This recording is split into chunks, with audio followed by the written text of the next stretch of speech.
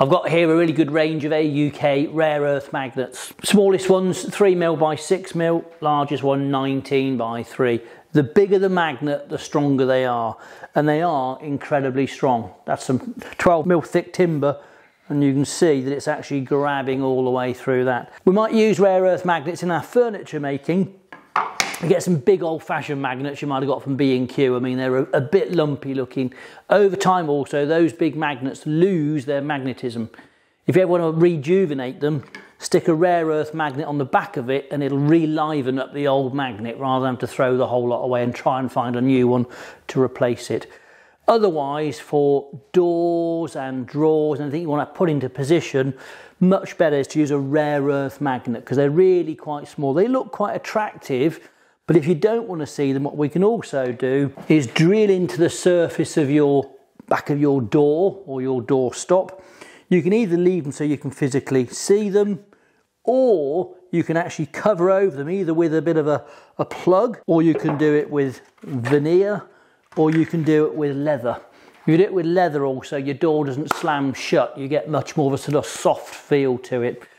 You can either match up a pair of magnets, so you've got a really, really strong grip, or you just do one magnet to another fitting you've already got, like a push to open fitting.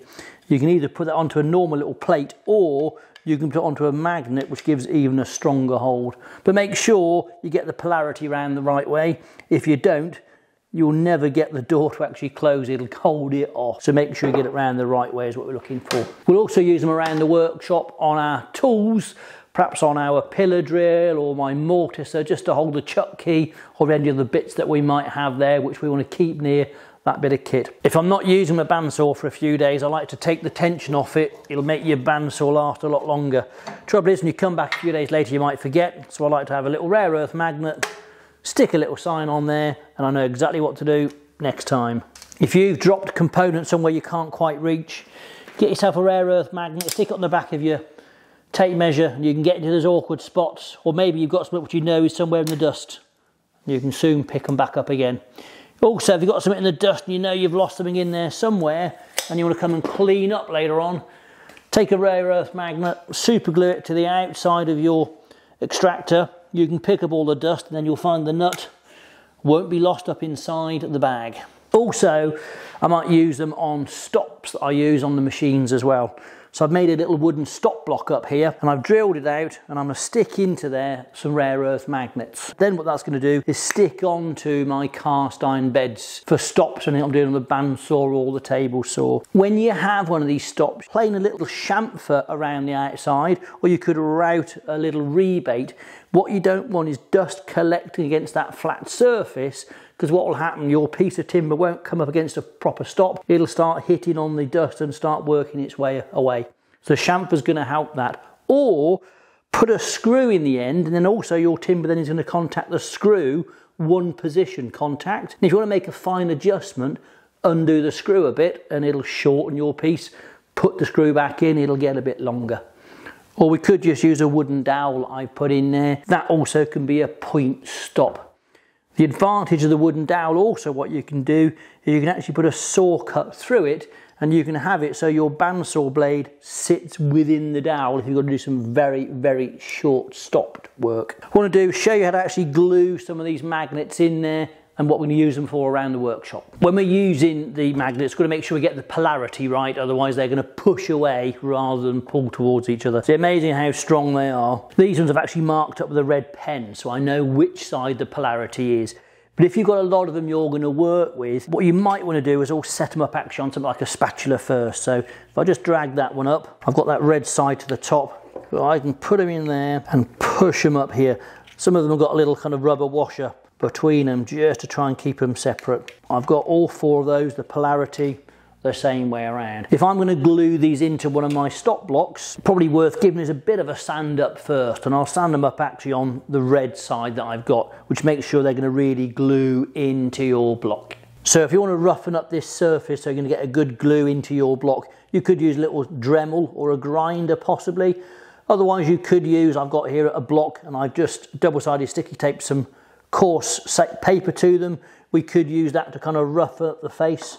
Or you could take them off that, Again, go with the face that you put the red on and hold that onto the block. For this size magnet, that's a fairly easy thing to do. For the smaller magnets, they can be a little bit trickier to hold. Or you could just use them on a bit of paper on the bench again, just to roughen them up. If we're going to get these uh, magnets glued into our timbers, probably worth putting on some gloves. You don't want to be sticking yourself to it as well.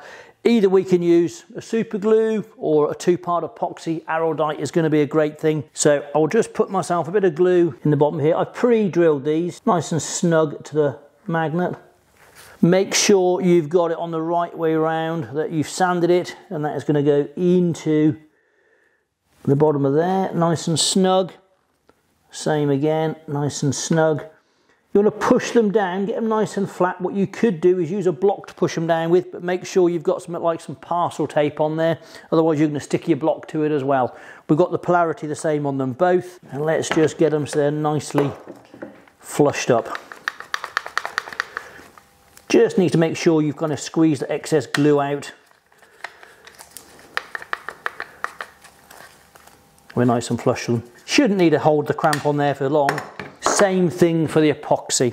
Just got to mix that up. This is a five minute epoxy araldite, so it should go off obviously nice and quick. When you're mixing up your epoxy, try not to get this one inside the other, otherwise you'll find the whole thing will start going off in your cap. Similar amounts, quantities for both of the halves.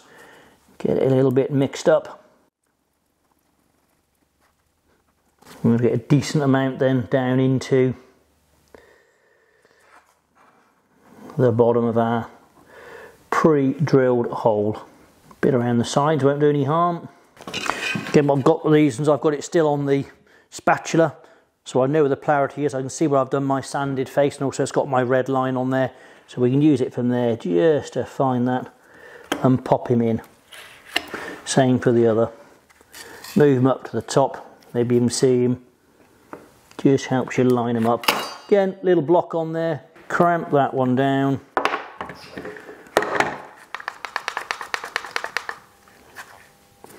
A little bit of pressure.